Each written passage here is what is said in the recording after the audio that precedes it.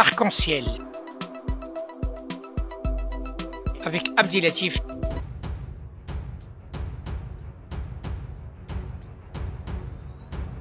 L'info libre et crédible et crédible.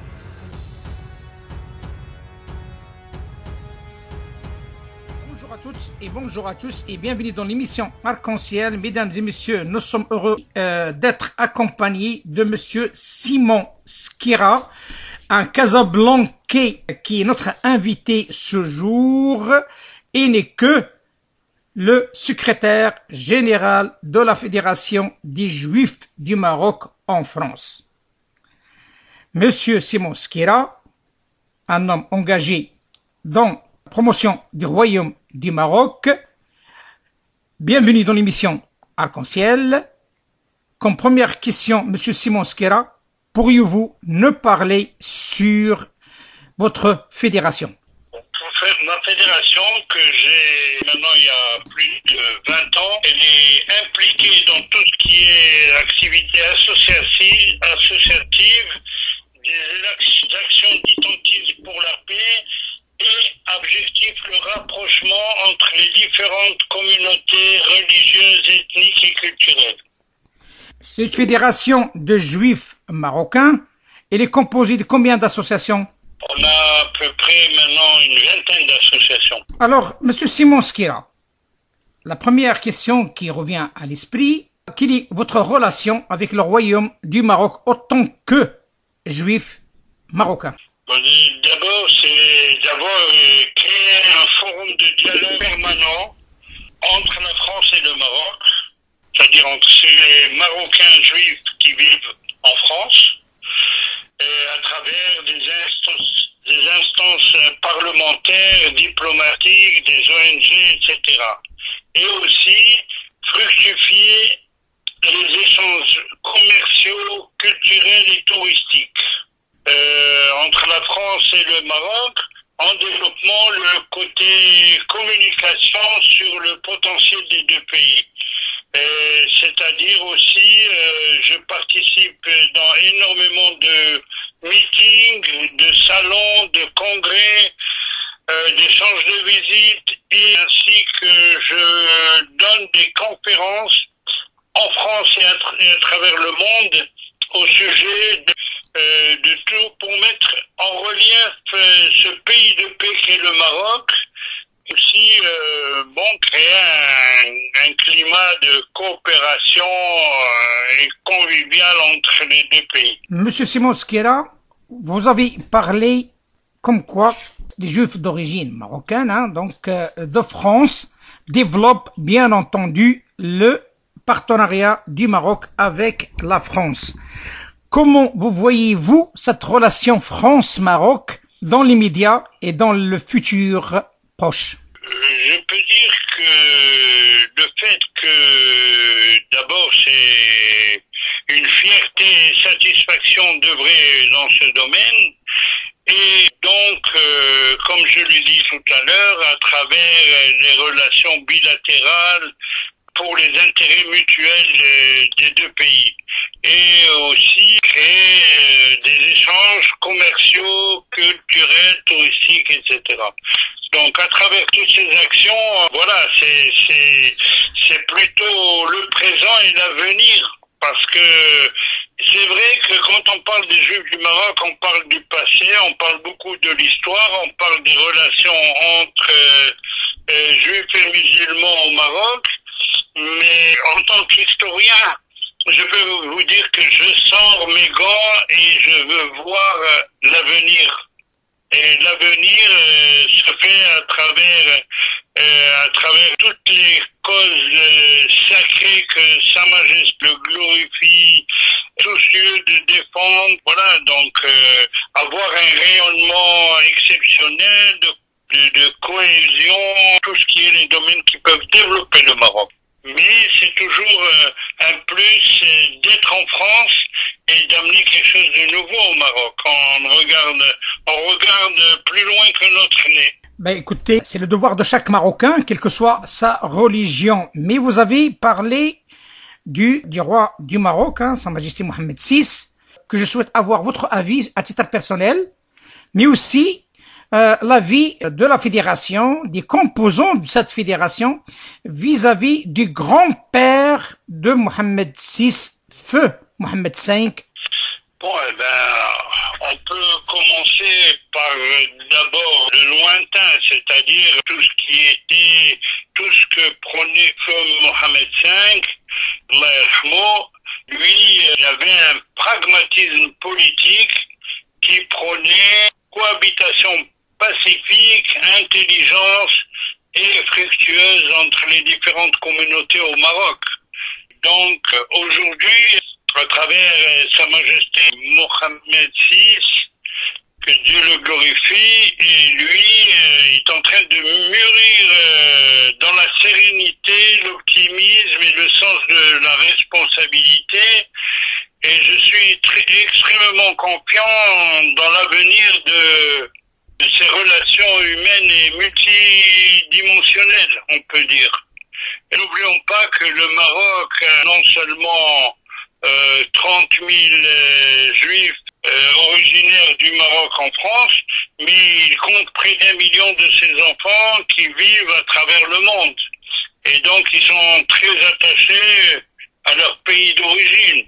Et donc ce bond d'amour, des fidélités constantes, elle doit être euh, confort, con, renforcée et consolidée par des mesures euh, avant-gardistes et courageuses afin d'assurer la fructification de, des échanges et des intérêts de tout le monde.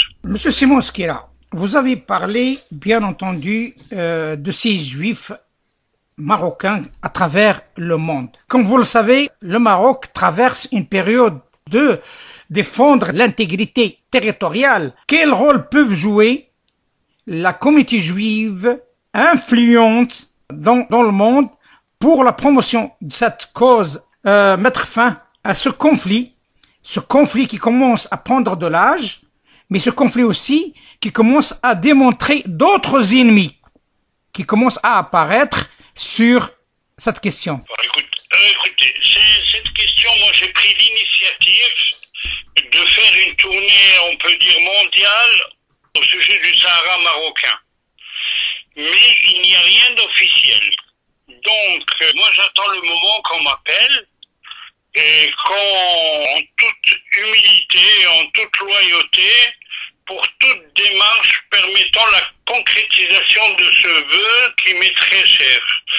Donc, euh, moi, je peux dire, euh, je suis rentré quelques jours avant le confinement en France, le, le 8 mars exactement, après trois jours euh, en Angleterre, où j'ai donné plusieurs conférences à ce sujet. Le Sahara marocain, on le sait, il est marocain. Je l'ai publié et je ne dis pas la question du Sahara marocain, je dis le, le Sahara est marocain. Donc, euh, moi, je suis intransigeant à ce sujet. Et donc, si j'avais plus de moyens, j'aurais été à toutes les communautés possibles et imaginables. Moi, je suis prêt à me libérer complètement à ce sujet. Et donc, euh, voilà, j'ai donné des conférences même au Maroc. Il y a eu une conférence internationale Sud-Sud qui est à Guelmim, à laquelle j'ai participé et j'ai donné ma conférence à ce sujet.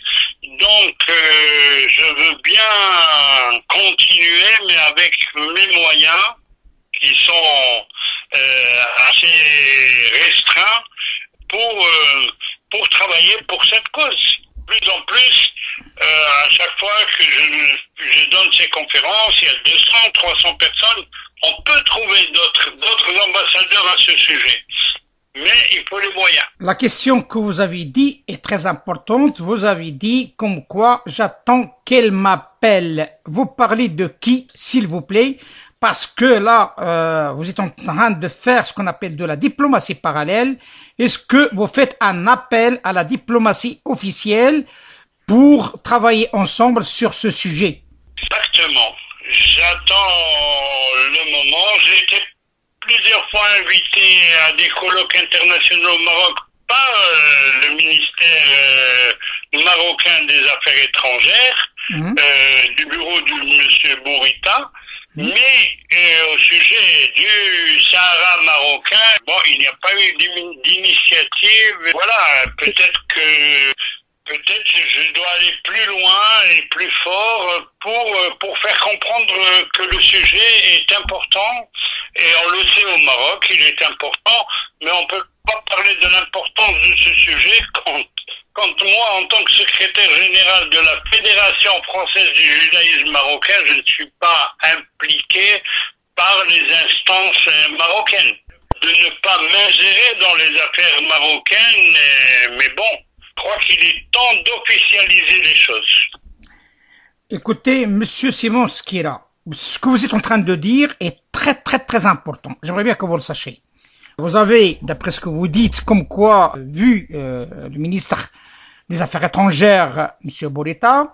Il n'y a pas de suite à ce jour et vous parlez comme quoi il y a un vide. C'est quoi la raison selon vous qui a poussé ces responsables de ne pas adhérer à votre initiative autant que Marocains Écoutez, il faut, il faut dire les choses comme ils sont. Hein. Il y a il y a un conseiller qui est marocain juif, il y a un président de communauté qui est marocain juif, et qui eux, d'après ce que je vois, eux, ils ont leur cercle et leur euh, réseau, et donc euh, même eux n'ont pas fait n'ont pas fait appel à mes compétences et mes responsabilités. Donc j'attendais de leur part aussi un appel, mais rien rien n'a été fait. Donc euh, comme a dit quelqu'un, chacun est ses amis. Alors bon, c'est trop fort et c'est trop faible parce que euh, moi je cherche pas des amis, je cherche pas à faire des gains politiques, je cherche à travailler pour mon Maroc. Vous savez, Monsieur Simon Skira, ce que vous êtes en train de dire, c'est trop fort, hein, donc euh, il faut dire les choses telles qu'elles sont. C'est la première fois que j'entends parler de déclarations fortes de cette nature, et notamment sur une question cruciale, une question qui commence à prendre de l'ampleur avec les différentes attaques que le Maroc, et surtout ces dernières années, ces derniers mois, qu'il a subi, hein, par l'intermédiaire, bien entendu, des opposants, bien entendu par les voisins, bien entendu aussi par euh, des soi-disant amis, euh, avec leurs leur, euh, soldats via l'Internet, des, des, des des Saoudiens, et on comprend pas pourquoi le Maroc est visé de cette nature et notamment le Maroc est de l'extrême côté du monde arabe, hein, donc euh, en face de nous, il n'y a que les États-Unis. Vous savez, j'ai été à Dubaï, j'ai été en Jordanie et j'ai parlé du, du, Sahara marocain. Mais bon, les relations entre le Maroc et la Jordanie sont très bonnes. Tout ce que j'ai pu, je l'ai fait, mais encore une fois avec mes moyens. Et je crois que maintenant il est temps de faire appel à nous et moi personnellement et me dire viens le drapeau a besoin de toi. Voilà, je dis, je dis toutes les vérités, ni de la part euh, des conseillers, ni de la part de la communauté, celui qui est à la tête. Bon, ils ont, bon, de temps en temps, je les vois donner des conférences sur les juifs du Maroc, mais encore une fois, il faut passer au Sahara. Les Juifs du Maroc sont là. L'histoire des Juifs du Maroc est là. Sa Majesté a mis euh, toutes les forces qu'il a pu pour rénover des quartiers juifs, pour rénover des cimetières juifs, pour euh, pour euh, maintenant on va construire un musée à Fès, il y a déjà un musée à Casa, etc., etc. Mais tout ça ne répond pas à la question politique du Sahara marocain. Et euh, bon, euh, voilà, j'ai eu des rencontres à Rabat aussi avec des responsables, euh, des des plusieurs responsables, et je sais qu'en en quittant leur bureau, ils vont appeler ceux qui sont à la tête euh, de, leur bureau. Et ils vont leur dire écoutez, il y a un skira qui est venu ici, euh, qu'est-ce que vous en pensez ou, quelque chose comme ça. De toutes les façons, ils diront oh, laissez tomber, c'est un bénévole. Alors le skira, donc, quoi qu'il arrive, il est marocain. il est considéré comme Marocain résident à l'étranger, comme moi-même, comme d'autres. Est-ce que vous avez pu euh, contacter les responsables des MRE et notamment, bien entendu, euh, la ministre déléguée des MRE auprès de Monsieur euh, ministre des Affaires étrangères, Boleta Est-ce que vous avez rencontré Monsieur Abdullah Bousso? Oui, il a, il a aussi son cercle d'amis qui sont à la euh, qui font partie de comment appelle-t-on J'essaye d'oublier parce que ça, ça fait mal. Euh, je l'ai rencontré, il m'a dit euh, il y a deux ans, il m'a dit dans trois mois il va y avoir des, élections dans mon association. Et que, les gens été nommés par Sa Majesté. Et dans trois mois vous allez faire partie. Et j'ai quitté son bureau et j'étais convaincu, on a pris une photo ensemble, on a bien discuté, il m'a dit je compte sur vous, vous êtes un militant et vous devez faire partie de, cette association des, des militants à l'étranger. D'ailleurs, il a trois personnes d'origine juive, mais bon, je ne sais pas si on les connaît au Maroc, mais ils sont là. Alors, euh, voilà. Et puis moi, deux ans, il m'a dit dans trois mois, mais j'attends ces trois mois, ils sont, ils sont pas encore là. Ben, ça fait maintenant deux ans que vous avez eu cette expérience avec M. Abdullah Boussov, si j'ai bien compris. Qu'est-ce qu'il... En tous les cas, voilà, la route tourne et rien ne se passe à ce sujet. Et bon, je, moi j'ai un réseau très ouvert. Je fais partie du monde juif, mm, marocain juif, et tout le monde le sait, et on voit d'après mes publications, mes interviews sur Facebook, etc., sur WhatsApp, et je fais des directs, mais voilà, on, bon, c'est comme si on me dit non merci. Dire non merci à un militant juif qui défend les couleurs du drapeau, euh, c'est grave, c'est gravissime et c'est très dangereux pour l'avenir. Il faut lui dire les choses telles qu'elles sont. Il faut dire les choses telles qu'elles sont et je, je, je, et je, et je pèse mes mots. Sauf ce monsieur Skira, qu'est-ce qu'il a de spécial pour ne pas le recevoir et l'épauler? À propos du drapeau, il y a eu une grande manifestation au sujet du drapeau marocain euh, après que des soi-disant euh, militants brûlé un drapeau marocain et nous, nous avons organisé une grande manifestation euh, au Trocadéro en plein Paris. J'étais le seul juif qui est marocain juif qui est arrivé, qui a parlé, ça a été filmé, c'est passé sur la map. Nous avons été devant l'ambassade du Maroc. A rien, rien, il n'y a pas eu suite. Alors, euh, je sais pas. Et que il y a des blocages. Euh, je peux vous dire que je suis étonné puisqu'on parle à bâton rompu.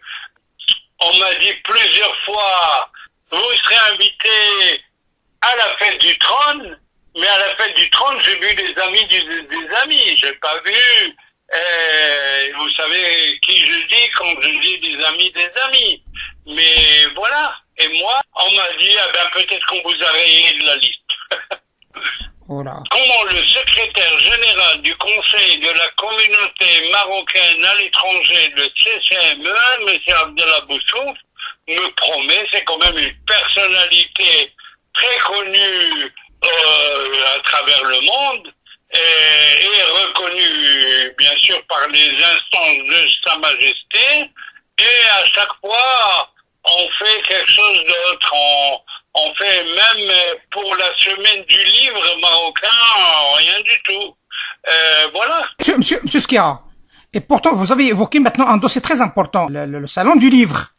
Dans ce salon, dans ce salon du livre, on a vu, et tout le monde l'a vu, et d'une manière officielle, des gens qui, qui sont vraiment des, des, des gens qui ont fait beaucoup de mal euh, au, au, pays et qu'ils étaient invités et qu'ils étaient invités. Comment comment ça se fait qu'on arrive à cette situation? Dernier temps, je me pose beaucoup la beaucoup la question euh, pourquoi Pourquoi Parce que j'étais, entre guillemets, ambassadeur du Maroc depuis 40 ans, et je ne fais que ça depuis le jour où j'ai quitté le Maroc, et j'ai pas fait de mal, et j'ai pas parlé contre, et j'ai pas organisé des manifestations contre le Maroc, alors je suis quelque part persona non grata.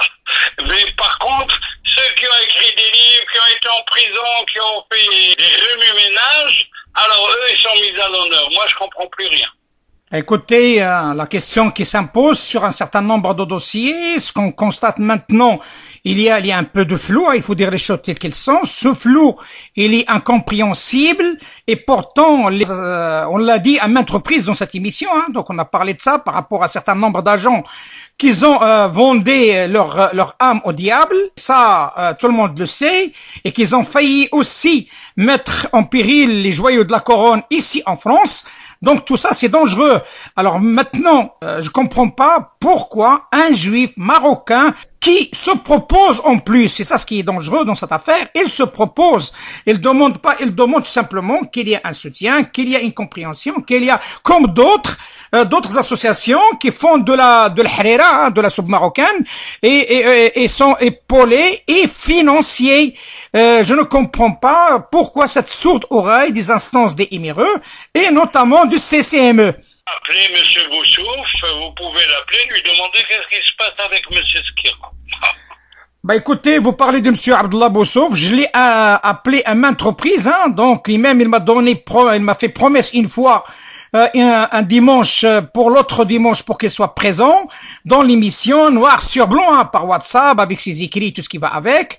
le jour le jour J, il euh, y a rien. Le monsieur n'est pas présent. J'ai des relations avec lui sur, sur, mon Facebook, sur mon WhatsApp. Et je lui passe sans arrêt des choses, à lui, à son bureau d'ailleurs, à d'autres personnes dans son bureau. ils savent tout, tout. Mais bon, il y a un blocage. Il y a un blocage. À quel niveau, je sais pas, mais bon. Le, le dira par rapport à ce blocage. On va pas trop se focaliser maintenant. On a suffisamment parlé de ce blocage de M. Simon sur son rôle qu'il peut jouer en tant que juif marocain sur le plan diplomatie parallèle pour la promotion de la cause nationale, voire la promotion du Marocain dans son ensemble. Vu votre expérience sur le plan urbain, euh, sur le plan urbanistique et autres. Maintenant, j'aimerais bien avoir, parce que là, vous êtes quelqu'un qui, qui, qui, qui, bouge énormément, et un certain temps, vous m'avez envoyé un article qui m'a frappé. Vous avez, euh, à l'époque, hein, je me rappelle plus, ça fait trois ans, quatre ans en arrière, il y avait une rencontre entre vous et Ilyes Omari, l'ancien président de la région de Tanger.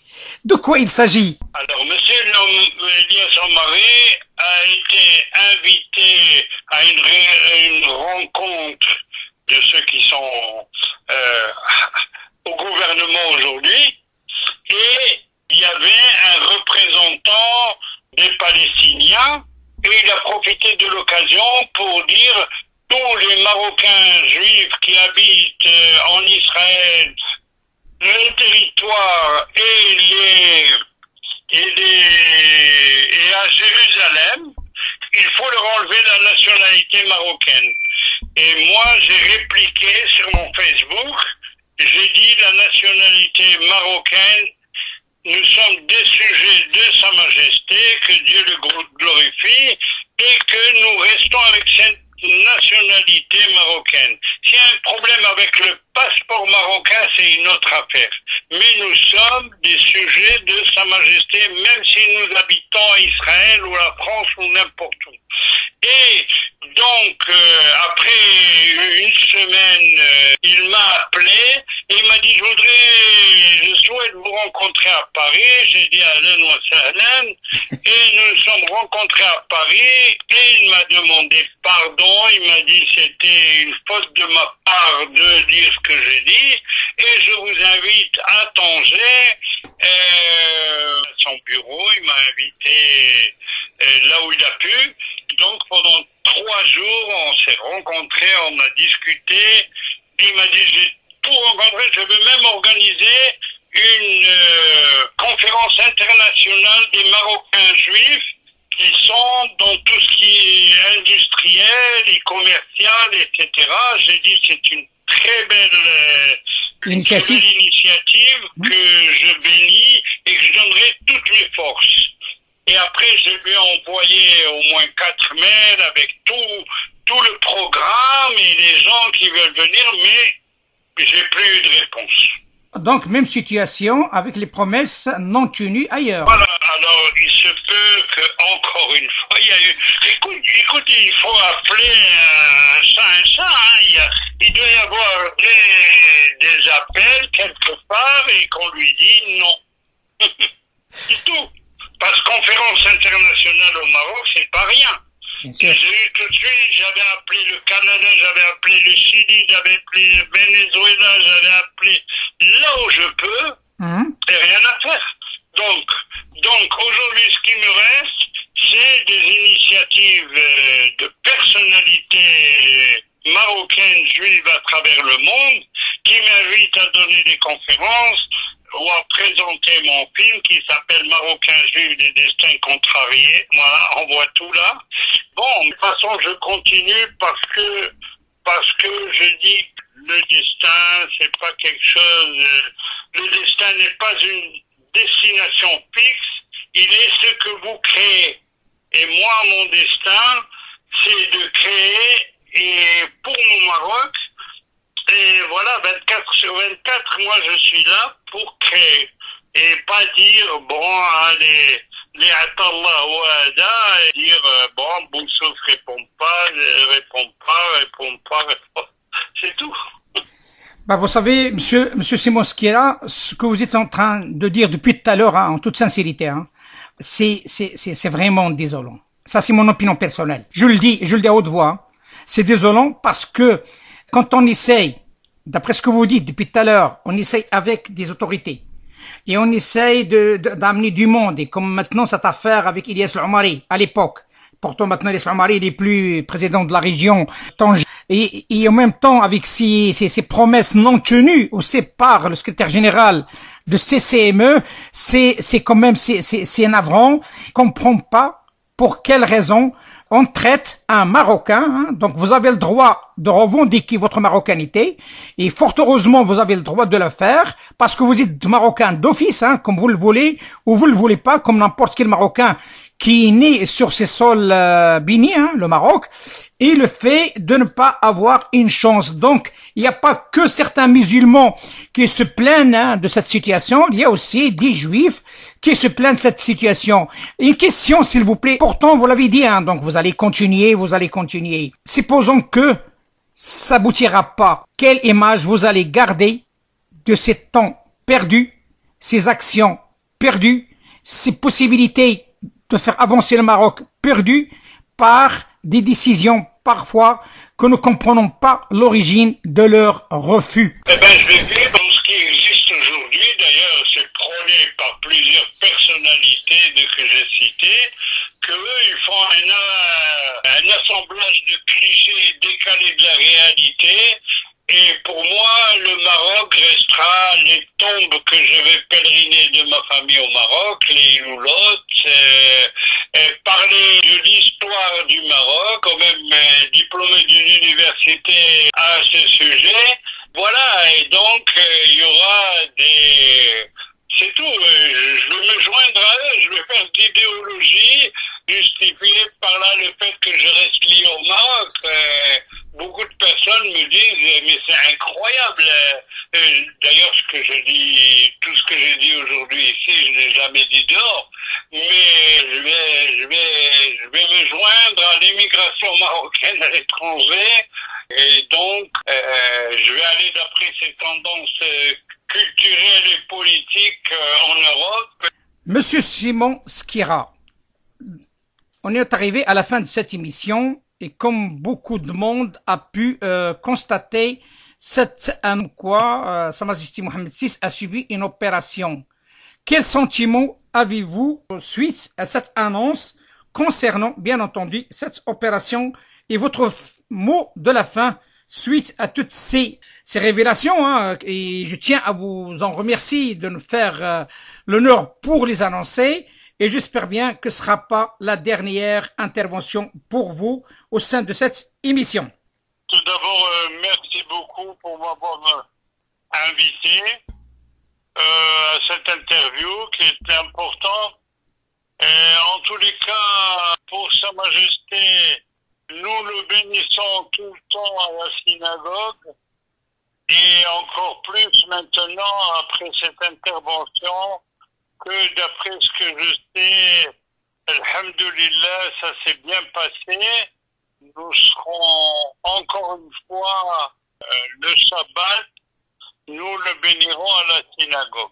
Je vous dis, Monsieur Simon Skira, euh, à très bientôt et j'espère bien que nous aurons le temps euh, prochainement pour parler euh, des éventuels rebondissements euh, suite à cette interview euh, explosive, hein, il faut dire les choses telles qu'elles sont, parce que ça concerne un compatriote juif qui euh, souffre d'un d'un blocage, mais aussi d'une manipulation, le moins pour dire une manipulation forte quand même. Merci beaucoup. À très bientôt. Très bientôt.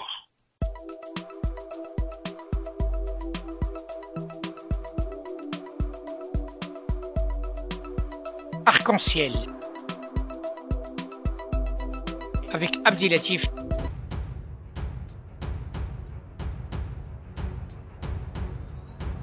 L'info libre et crédible. Et crédible.